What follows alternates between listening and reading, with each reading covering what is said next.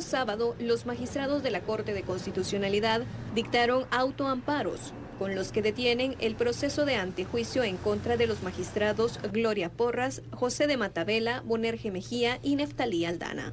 Ante ello, el abogado constitucionalista Eric Castillo pide que se revoque el amparo provisional que se otorgaron a los magistrados antejuiciados. El planteamiento de esta solicitud y acciones que presento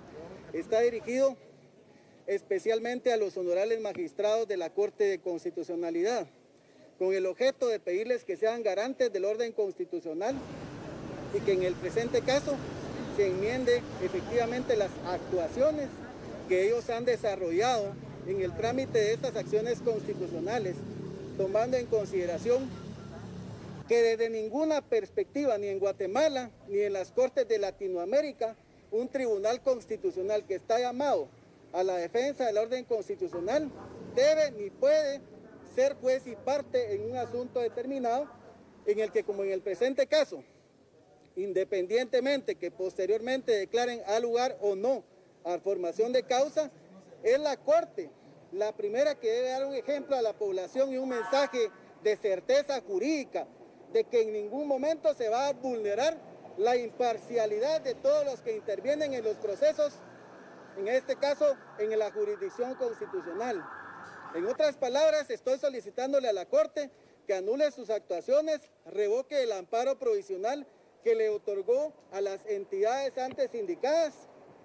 y restaure la situación jurídica afectada. También le estoy solicitando a la Corte de Constitucionalidad revoque el amparo provisional porque realizó una interpretación indebida del artículo 167 de la ley de amparo, que si bien señala que los magistrados no son responsables por sus opiniones, esas opiniones se refieren, por ejemplo, a una opinión relacionada con la constitucionalidad o no de una ley, vinculada con un dictamen, pero en ningún momento se refiere a una sentencia o a un auto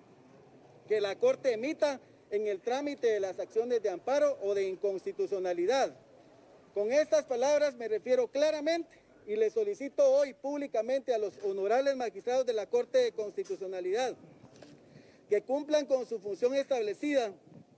en el artículo 268 de la Constitución Política de la República de Guatemala, que les obliga a defender el orden constitucional